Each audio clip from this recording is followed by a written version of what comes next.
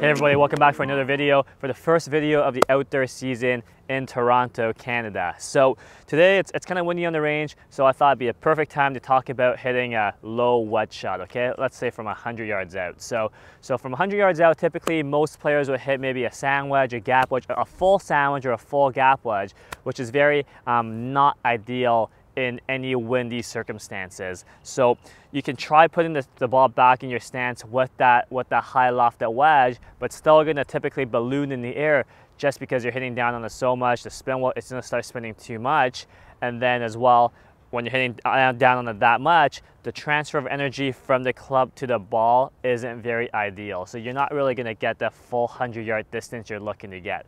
So what I like to do um, for myself and for a lot of my clients in this in this situation is grab a pitching wedge or a nine iron. For me, it's a pitching wedge, and we're gonna kind of build build the wedge system up. So in previous videos, you've, you've, you've, heard me talk about the wedge system. If you haven't, check it out on my, on my uh, previous videos.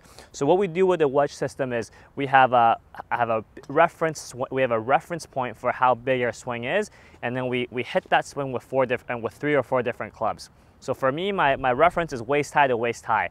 Um, I hit 40 yards, 60 yards, 80 yards, and 100 yards with my 58, 54, 50, and my pitching wedge, okay? So, so I know for me, if it's windy, I can come to this waist high to waist high pitching wedge. It's still, the flight's still high enough and spins enough where it's still gonna stop on the green, but I know it's not high enough and spinny enough where it's gonna get caught into the wind. So how we do it is like this. Um, I have a pitching wedge. We're still to have a pretty narrow stance like we do with our, with our 40, 60, 80 yard pitch shots. Ball position is middle to back middle, and you can see when it's set up to the ball, I still have that straight line from my shoulder to my hands to your club.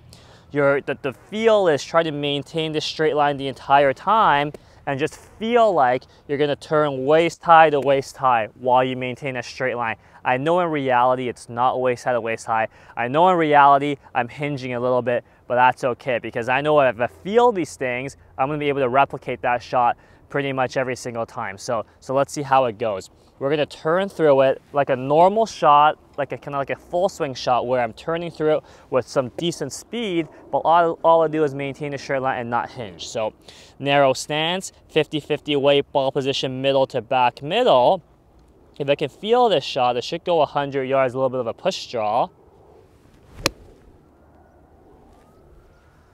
So I've hit a pretty nice little push draw there. Wind didn't really knock it down too much. I'll hit one more for you guys. So you can see with this kind of shot, not only do we hit it very, very straight because the face doesn't deviate too much with the lack of hinging and rotating in my wrist, uh, rotating in my arms, but also because a lower lofted club would produce a little less spin, but because it's still a pitching wedge, it's still gonna give us a, a good enough ball flight to stop a 100 yard shot relatively quickly. So I'll do it one more time for you guys. So waist high to waist high, I'm gonna feel like I do. I'm gonna do narrow stance, 50-50 weight, ball position, middle to back middle. And all we do is turn and turn.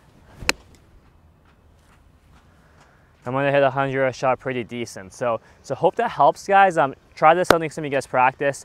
Pitching wedge, nine iron, whatever it may be for you guys. Um, try it out and see what you like. So any questions, just leave in the comments below and we'll catch you guys next time. Thanks guys.